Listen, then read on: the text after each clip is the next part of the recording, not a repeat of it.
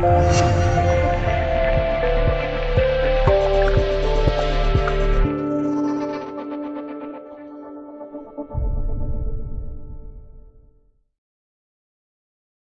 岸反登陆射击的 CM 幺幺拥护坦克，这坦克确实够老了。台湾最近一直在谋求购买美国的 M 一 A 二主战坦克，以替换自己早已老旧的 M 六零 A 三主战坦克和 CM 幺幺勇虎主战坦克。据环球网称，弯弯将于明年正式编列预算，向美国购买两个约一百辆 M 一 A 二主战坦克。对岸将要购买的 M 一 A 二坦克，对此。大陆军迷可兴奋了，甚至比对岸更希望台军能够早日换装 M 一 A 二坦克。毕竟，对岸运输大队长的称号可是驰名已久。从某种意义上讲，对岸 M 一 A 二坦克到货，基本上等于我军蓝军旅的 M 一 A 二坦克到货了。涂上解放军涂装的 M 一 A 二，最近小编在细翻对岸军队的家底时，发现他们手里的宝贝还真的不少。环都在花大钱替我们全虚全伪的保存着，如此认真负责的仓库保管员和运输大队长，放眼古今中外都是难得一见啊！送物资的国民党兵对岸手中的第一大宝贝，便是其空军的 F 幺六 V 战斗机了。这款战斗机由对岸的 F 幺六 AB 战斗机升级而来，虽然发动机还是 F 幺六 AB 战斗机的老款发动机。但是它换装了全新的任务计算机、更先进的航电系统和有源相控阵雷达。台湾媒体公布的 F 幺六 V 升级方案，据洛克希德马丁公司称，F 幺六 V 上的 APG 八三可变敏捷波束雷达 FABR 性能完全能与能与 F 三五闪电二的 APG 八焦雷达比肩，两者的零部件通用率达到百分之九十五以上。F 幺六 V 的先进数字化座舱，此外。据洛克希德马丁公司透露，对岸为了升级一百四十五架 F 幺六 AB 战斗机，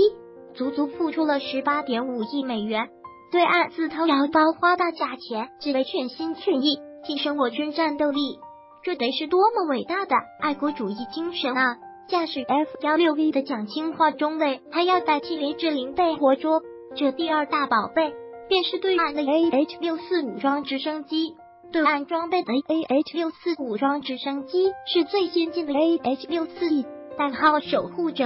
A H 六四一守护者装备了先进的 J T 联合战术无线电系统，还更换了功率更大的功率更大的 P 七零零 I 激励杠七零幺 D 发动机和新的复合材料桨叶，还具有操控无人机的能力以及仪表飞行能力，性能比我军的五支是更加先进。对岸的 A H 六四一守护者武装直升机，因此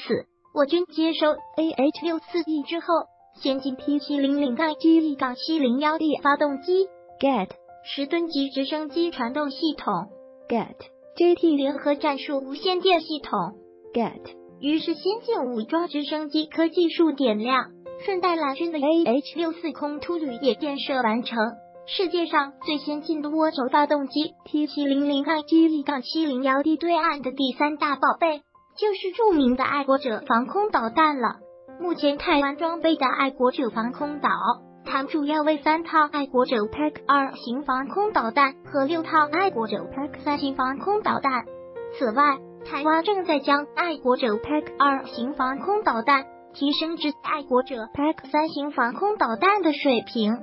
对岸的爱国者 Pack 二导弹和 Pack 三导弹，爱国者防空导弹是美军战区防空反导作战的重要组成部分，是美军对战术弹道导弹的最后一道拦截线。其中，爱国者 Pack 三型防空导弹是爱国者系列防空导弹中最先进的一款。爱国者 Pack 三型防空导弹不仅能够拦截上百公里外的战斗机、巡航导弹。还能够拦截射程低于一千公里的战术弹道导弹。爱国者 Pack 二导弹拦截弹道导弹，相信我军接收了对岸的 Pack 三防空导弹之后，空军火箭军都是这句台词。